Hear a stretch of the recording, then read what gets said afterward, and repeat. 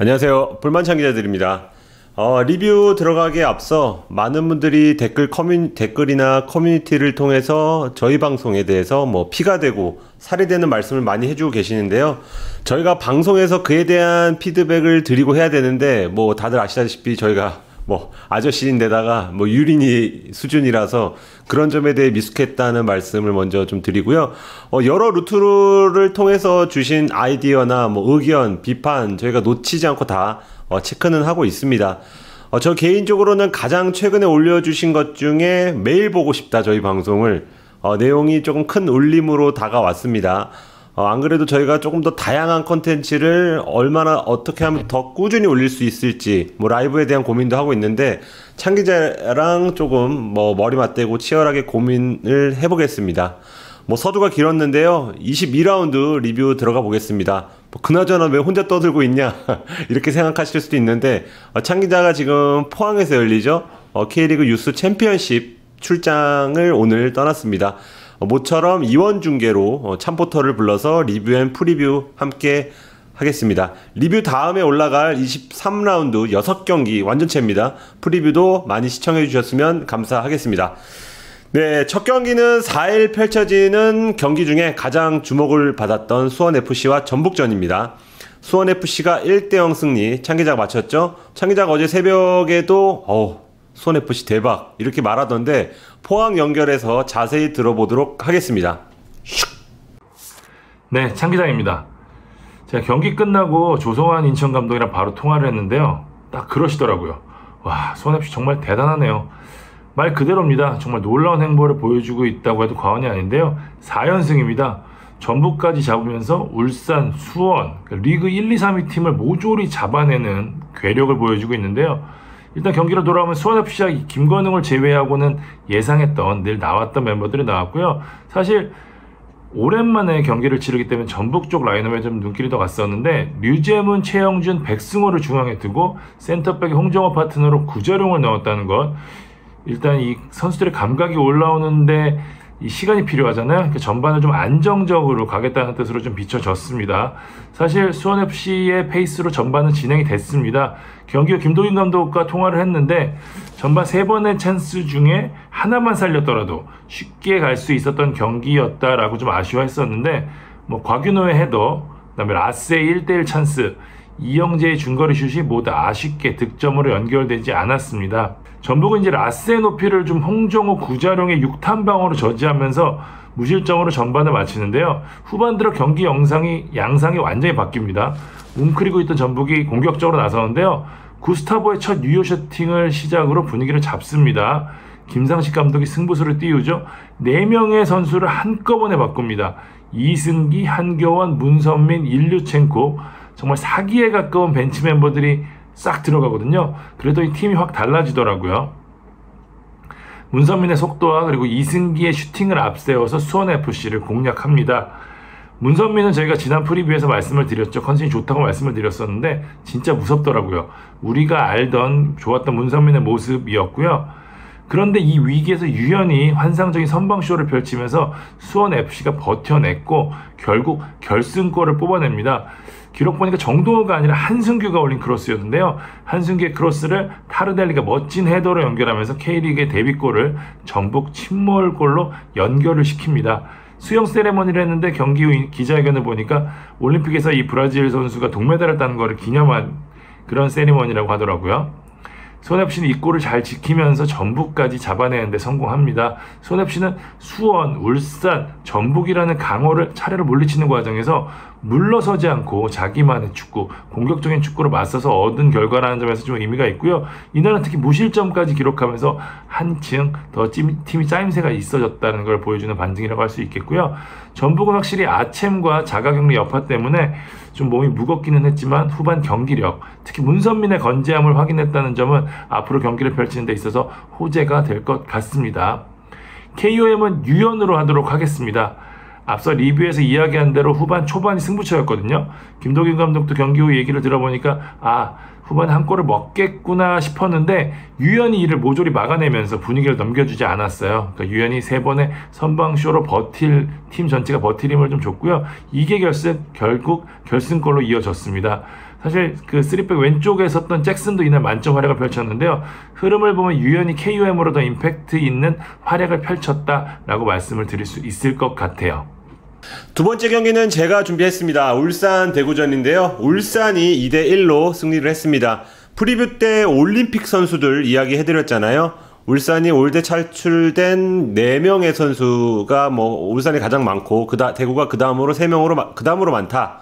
그런데 복귀한 지 얼마 지나지 않아서 않았지만 이 선수들이 출전할 가능성이 있다 그런 분위기를 감지를 했었는데 어, 뭐 그렇 다고 하더라도 제 속으로도 기여도가 얼마나 크겠어 왜냐하면 뭐 멘탈적으로도 어, 데미지를 입었고 체력도 당연히 힘들 거고 어, 그런데 기우였습니다 뭐 세징야 조현우 이청용 이렇게 특급 선수들이 많은 경기에서 양 팀의 올대 선수들이 뭐 여러 의미에서 가장 돋보였는데요. 울산 홍명보 감독은 이동경 원두재 어, 예상을 깨고 두 미드필더를 선발로 내세웠습니다. 방에서 TV만 보면서 슬퍼하면 뭐하냐. 운동장에서 뛰면서 극복해야 된다. 뭐 국대 감독 그리고 선수 경험을 토대로 그렇게 조언을 해줬고 어, 선발 투입하는 판단을 내렸는데요. 어, 뒤에 얘기하겠지만 울산의 올대 선수들은 그 대부분 다 제 몫을 해줬습니다. 우선 원, 원두제는 진짜 원두풀 했습니다. 예, 영상을 보시면 알겠지만 아 저 패스 보십시오. 공을 끊어낸 다음 그림 같은 공간 패스를 찔러 넣습니다. 단 한 번의 패스로 big 찬스가 만들어지는 순간을 지금 보셨고요. 어, 전반 41분 울산 힌터제어가 바코가 얻어낸 페널티를 선제골로 두 번 찼죠. 그래도 다 넣었습니다. 울산이 앞서 나갑니다. 어, 대구가 그냥 무너지지 않고 전반 끝나기 직전에 동점골을 넣었는데요. 동점골을 넣은 선수가 올림픽에서 주전, 주전 수비수로 뛰었던 바로 정태욱이었습니다. 어, 세징야의 프리킥을 감각적인 헤더로 득점하는데 시즌 마수거리 골이 올림픽 직후 열린 경기에 서, 터졌다는 점 어, 주목할 필요가 있습니다. 사실 전반전 대구의 상황이 아주 좋은 건 아니었습니다. 이병건 감독이 뭐 올림픽 다녀온 정태욱과 김재우를 동시에 어, 선발로 투입을 했는데요. 그런데 김재우가 공중볼 경합 과정에서 무릎을 다칩니다. 본인이 무릎도 때리고 어떻게든지 더 뛰어보려고 했지만 결국은 벤치에 신호를 보내면서 뭐 교체가 교체가 됐고요. 어, 벤치에 센터백 자원이 없기 때문에 부득이 공격수인 이근호를 투입하면서 김진혁을 내리는 그런 전수 변화를 어, 줄 수밖에 없었습니다. 경기는 후반에 들어서 다소간 소강 상태로 접어드는데 어, 세징야가 열심히 움직이면서 기회를 만들긴 했습니다. 아 그런데 슈팅은 다섯 개였는데 유효 슈팅이 없었다. 0점 조준이 조금 안 되는 모습. 저희의 양궁을 한국의 양궁을 조금 배웠으면 좀 괜찮았을지도 모르겠지만 공이 약간 약간씩 넘어가는 뭐 8점 내지는 7점을 쌌던 그런 경기였고요.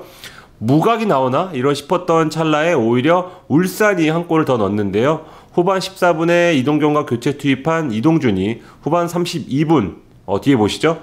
어, 원두재의 패스를 받아서 near post로 낮게 깔아찹니다. 어, 그야말로 원두재, 아, 원두재래요. 또 원더풀 할래다가 진짜 원더풀한 그런 골이 나왔습니다. 어, 저는 그런 의미에서 좀 원두재를 KOM으로 꼽고 싶은데요. 뭐 공수에 걸쳐서 활약이 좋았습니다. 뭐 이청용이 후반에 투입되기 전까지는 전반에 주장 완장을 차면서 팀을 리드했고요. 어, 올림픽 다녀왔는데도 풀타임 소화를 했습니다. 울산이 최근 수협 상대로 수비가 무너지면서 대패를 했었잖아요. 근데 원두재가 버텨주니 수비가 힘을 받는 모습, 그리고 50, 95.6%의 패스 성공률을 좀 기록을 했습니다. 이동준도 짧은 시간이지만 KON급 활약을 했는데요. 어, 이동준이 좀 특이한 게 올해 득점한 7경기에서 팀이 모두 승리했습니다. 11승 중에 7승. 이거를 이동준이 기여를 했다고 볼 수 있고 7골 중 최근 5골을 모두 교체로 들어갔을 때 넣으면서 K리그 최고의 조커 입지를 구축을 했습니다.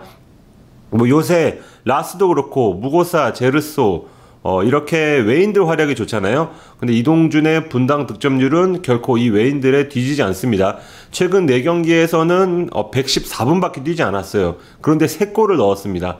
38분당 1골. 어, 정말 놀라운 활약을 이어가고 있고요.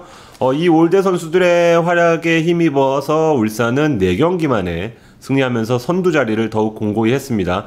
대구는 후반기 들어서 무승부와 패배, 썩 좋지 않은 흐름으로 후반기를 맞이했습니다. 세 번째 경기 아 힘듭니다. 창 기자한테 넘겨야 되겠습니다. 포항 성남전 포항이 1대 0으로 이겼습니다. 참포터 네 다시 창 기자입니다. 포항이 위기를 넘고 있습니다. 제가 여러 차례 말씀을 드리지만 김기동 감독 진짜 좋은 감독 같아요. 그러니까 그런 의미가 위기 대처 능력이 상당히 좋거든요. 플랜 A가 좀 꼬였을 때 플랜 B로 과, 전환하는 과정이 굉장히 기민하고 무엇보다 색깔 자체에 큰 변화를 주지 않으면서 어떤 식이든지 답을 찾고 있는 게 김기동 감독의 굉장히 능력이라고 볼 수 있는데 지난 대구전에서도 경기력 자체는 나쁘지 않았거든요. 이날 성남전은 한층 더 짜임새가 있어진 걸 보면 김기동 감독이 어떤 식으로든 송민구의 공백에 대한 답을 찾고 있구나라고 좀 느낄 수 있었거든요. 사실 멤버만 보면 임상혁까지 이날 좀 햄스트링으로 부상해서 빠졌거든요. 이승모 원톱에 이석규, 김진현, 권기표가 이선에 섰단 말이에요. 그러니까 득점이 관건일 수밖에 없는 이선을 꾸렸는데 결국에 한 골 양상 싸움 양상으로 흘려갔습니다. 포항은 이석규, 그다음에 김진현, 권기표가 패기 있는 움직임을 보여주면서 기회를 만들었는데 역시 좀 마무리가 좀 전체적으로 좀 아쉬웠어요. 네. 성남은 오히려 지난 광주전 움직임이 더 좋지 않았나 싶을 정도로 선수들이 전체적으로 좀 몸이 무거운 모습이었는데 확실히 그날 경기를 좀 무리하게 뛴 여파가 있지 않았나 좀 싶은 생각이 좀 들고요. 상대가 좀 전방에 확실한 스트라이커가 있었으면 훨씬 더 일찍 무너질 수도 있었지만 어쨌든 꾸역꾸역 버텨냈다는 건 성남 수비도 확실히 권경호 선수 가세 이후로 안정감을 찾았다는 방증으로 봐도 될 것 같고요. 포항은 후반 이 고영준을 투입하면서 속도를 더 올렸습니다. 강상우의 공격 가담이 위력을 발휘하면서 기회를 만들었는데요. 강상우는 확실히 송민규가 없는 상황에서 정말 고군분투하고 있다라는 느낌을 정도로 줄 정도로 좀 열심히 하고 있는 모습을 보이고 있고요. 성남은 이 교체 투입된 뮬리치를 중심으로 반격에 나서는데 뮬리치의 개인 기량 이외에는 이렇다 할 기회를 만들지 못했죠. 성남은 이날 유효 슈팅이 단 4개 뿐이었습니다. 결국 후반 60, 26분이었죠. 결승골이 터집니다. 고영준이 왼쪽에서 올려준 오른발 크로스를 아 굉장히 정교하고 멋진 크로스였죠. 권기표가 다이빙 헤더를 연결하면서 결승골을 뽑습니다. K리그 이날 데뷔골이었는데요. 스토리치 세레머니를 펼쳤습니다. 상당히 좀 인상적이었고요. 그 사실 가능성은 상당히 높이 평가받았던 선수였는데 지난 아챔에 이어서 리그에서도 좋은 모습을 보이면서 김기동 감독이 위안이 되고 있죠. 사실 쥐가 나는 게 좀 약점이라고 하는데 지난 대구전에서도 그랬고 이날 경기는 어쨌든 좀 더 좋은 모습 보였다는 점에서 앞으로 활약 기대할 수 있을 것 같고요. 포항은 이 골을 잘 지키면서 승리를 거두게 됩니다. 휘슬이 울리기 전에 이제 포항이 단독으로 나는 좀 상황이 생기는데 사실 좀 보면서도 애매하게 끝났다는 생각이 좀 들었어요. 심판이 시간이 다 됐다는 걸 좀 보여주는데 김기동 감독이 상당히 좀 아쉬워했다는 거 어쨌든 다득점으로 가는 경기였으면 선수들 전체적으로 더 좀 편안하게 앞으로 경기에 대한 득점에 대한 좀 부담이 없이 갈 수 있었기 때문에 아마 좀 안타까워하신 것 같은데요. 아무튼 포항이 승리하면서 자칫 무승이 길어질 수도 있는 상황을 멋지게 다시 한번 반전시켰고요. 성남은 코로나 여파로 좀 힘들어지는 기간이 길어질 수도 있겠다는 생각이 좀 들더라고요. 강등 라이벌로 평가받았던 인천 수원FC가 지금 확 치고 나가잖아요. 지금 광주를 제외하고는 지금 두 팀만이 승부를 건 거기 때문에 아 밀리면 끝장이다라는 부담감이 있을 수 있어서 앞으로도 좀 성남은 좀 상대적으로 좀 부담감이 큰 상태에서 경기를 하지 않을까 싶습니다. KOM 선정하도록 하겠습니다. 박승욱 선수로 하도록 하겠습니다. 포항의 새로운 보물인데요. 여름 이적 시장에서 K3 리그의 이 부산교통공사에서 영입한 선수인데 김기동 감독이 좀 칭찬을 아끼지 않더라고요. 박성욱이 오른쪽에서 잘 버텨주면서 수비가 안정감을 더 하고 있고요.